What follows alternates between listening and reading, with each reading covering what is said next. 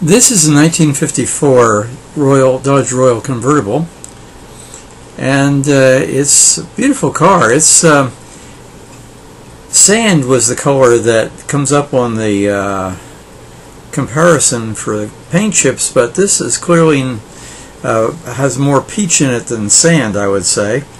So it's an interesting color, and it's a nice combination. This color and white, and it's carried over into the interior also. You can see the structure of the top has, has been renewed. The upholstery is color matched. Beautiful. And here we see the first year for Powerflite on Dodge. There you see the uh, shifter there on the column with the Powerflite uh, transmission selector. The next year in 55 it would be a, a little, little uh, thing coming out of the uh, of the uh, dash, and then the following year it would be uh, push buttons. You know that was a lever the year before in '55, and then the push buttons, and beautiful uh, wire wheels. This, of course, has the Red Ram V8 uh, that came out in 1953, so this would be the second year for that. There you see the V8 and the Powerflite uh, both advertised there.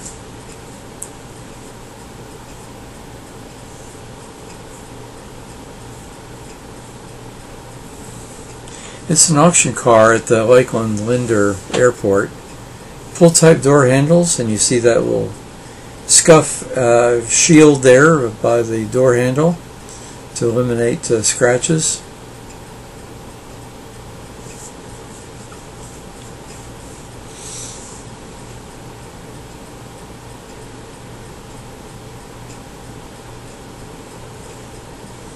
Has radio and clock.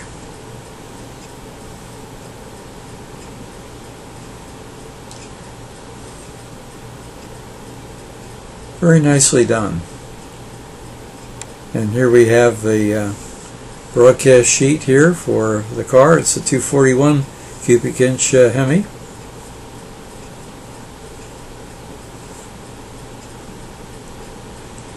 There's the RAM on the hood and